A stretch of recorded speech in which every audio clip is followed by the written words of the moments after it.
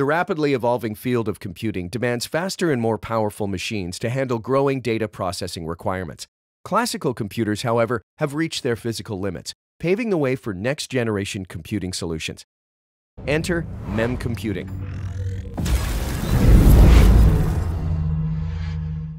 Founded by PhD physicists Dr. Fabio Traversa, Dr. Max Di Ventra, and entrepreneur John Beane, MemComputing was developed at UC San Diego by the two physicists who have backgrounds in quantum computing, electronics, and unconventional computing methods.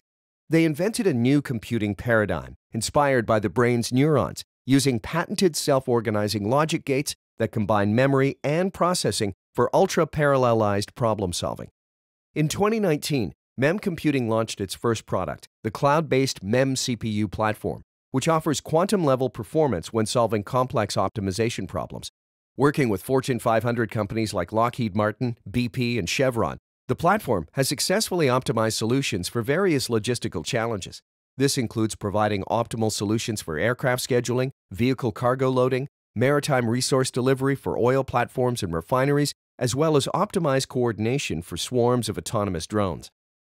MemComputing has also been awarded eight SBIR contracts from the U.S. Air Force, Space Force, and NASA. These include a satellite constellation design tool that can identify, classify, and track hypersonic targets such as ballistic missiles, while also optimizing the communication network among satellites and the ground for rapid information dissemination to warfighters. Another Space Force related SBIR calculates the optimal motion planning for a satellite with a robotic arm when capturing a tumbling object in space.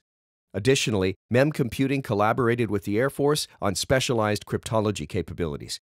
The DoD recognized MemComputing by awarding it an Advanced Battle Management System ABMS contract to support the Joint All-Domain Command and Control effort.